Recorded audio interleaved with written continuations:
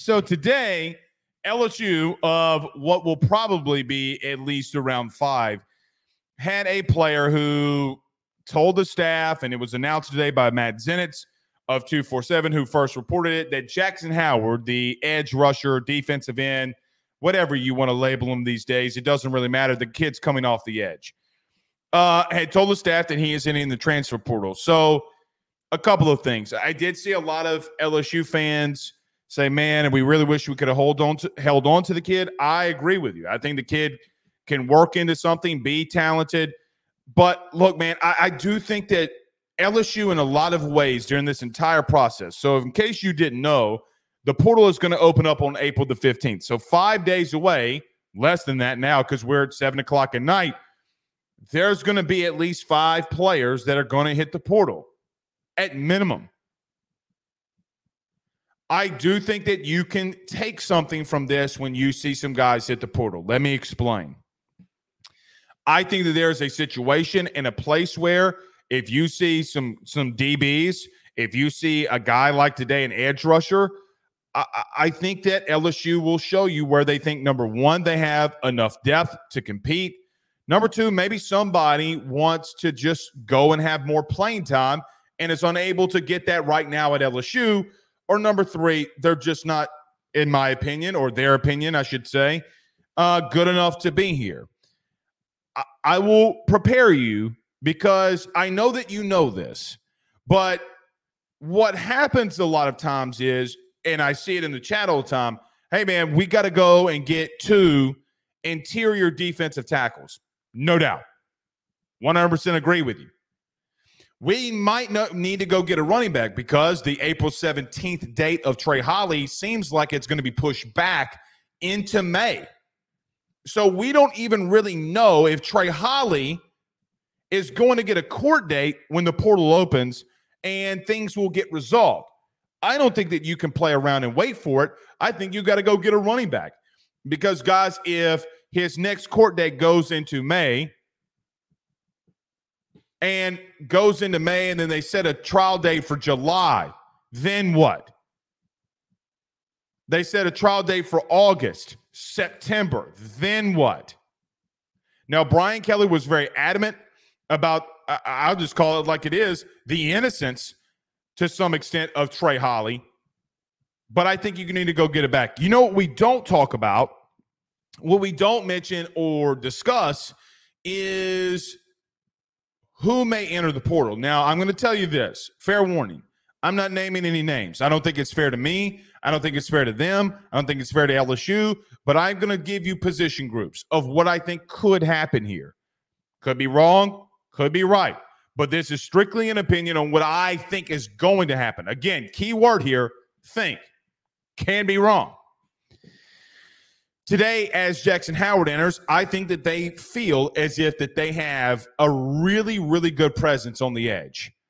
I got to admit, and this is not a guy that we've talked a lot about. I think Ahmad Breaux has looked pretty good, the kid from Ruston. Honestly, taller than I thought he'd be. He's actually his arm length is longer than I thought it'd be. He's gotten, eh, just really looks like a pretty solid SEC edge. Now, how does that translate? You know, is he better than Jaxon Howard? Now, I, I don't know all that. Been a little impressed with him, to be honest, in one on ones. Uh, got a sack, not with the ones on one on ones in Pascal. He did get a sack, like that a lot. Came off the edge, quick, quick, quick off of the edge was Ahmad Breaux.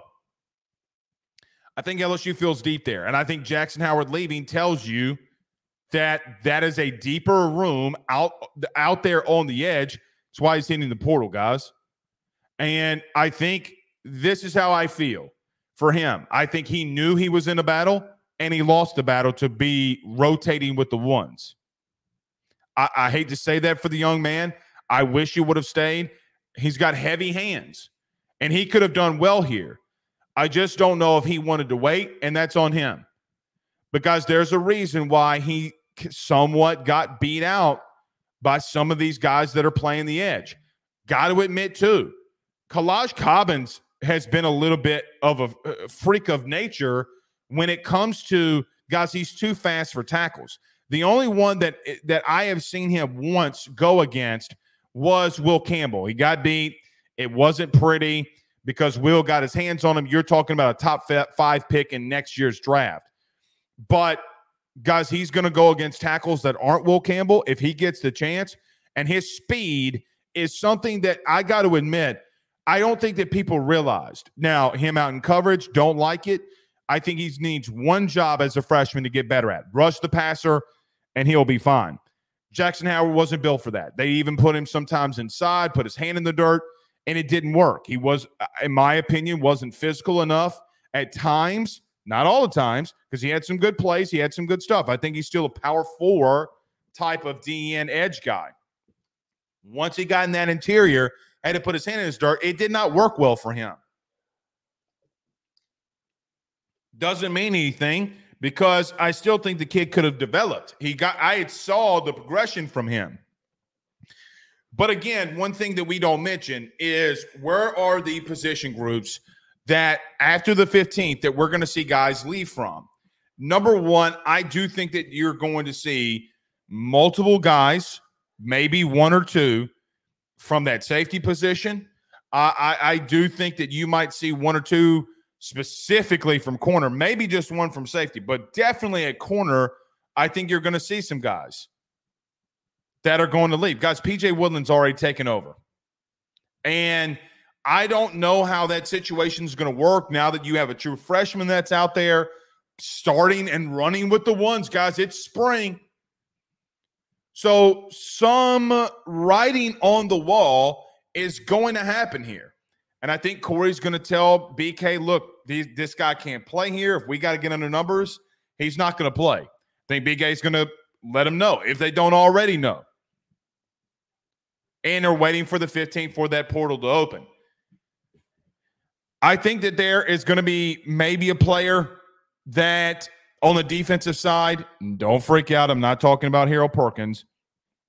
That maybe you're not um, wanting to leave, and maybe it would be unexpected, but has not looked so great so far. We'll see how that goes on. But I think you're going to get to five. On the offensive side of the ball, maybe a receiver, maybe.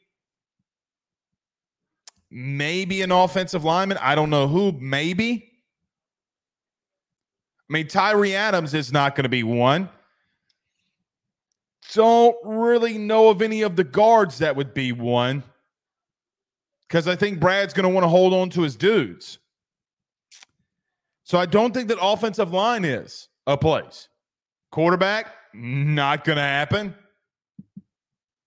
I don't believe it's going to happen, I should say. Maybe the only guy that I could see transferring right now would be Ricky. But I, I don't I don't know if that's going to happen. Maybe AJ Swann hits the portal again because he doesn't win the second team job. I don't know. What I would tell you that here is though, I just don't know if there's not going to be more defense. I, I think it's going to be more defensive guys. To be blunt with you, if there are some receivers, maybe O lineman. All right, you don't have the bodies that will hit the portal at running back. So okay, I do think the fat needs to be trimmed at DB. I think the, the fat needs to be trimmed uh, in the interior of the defensive line too. But you can't you can't cut anybody there. You can't move on from anybody there. You got to go get dudes, but you can't move on from anybody in case that you miss. And that position, guys, quite honestly, you probably need six guys that you can play. And you do have Dominick McKinley that's coming in. So we'll see. You're three over the scholarship limit. I think at minimum you get to five. Truth is, there's probably going to be six or seven. So I say all this to say, don't panic. Don't be alarmed. And I know that you probably won't be. But when you see seven guys going to the portal after spring, I know that the way that the college football mind works, I see it in every program. We got seven some bitches hitting the portal. What in the hell is that about? Well, I mean, you got some teams got to make room for other dudes. Now, I will admit, they got a lot of talent, individually talented human beings on that team. I don't know if they have breakout stars. I don't know if they have first round picks. What I do know is they got a lot of freaking talent. Individual talent on that team, both sides of the football. And the question becomes who are some of the guys that aren't qualified to be here? And I think that you probably in your mind right now are thinking, well, who in the hell Blake's talking? You probably know who. You probably know who. But there are two receivers that I'm thinking about in my head right now that I think need to probably need to look elsewhere. I think that there are a couple of corners, maybe a safety that need to look elsewhere. And maybe a guy that no one would think would be thinking about transferring, he might go in there. Bottom line becomes I think that the, the safe number is five. I think the great number is seven.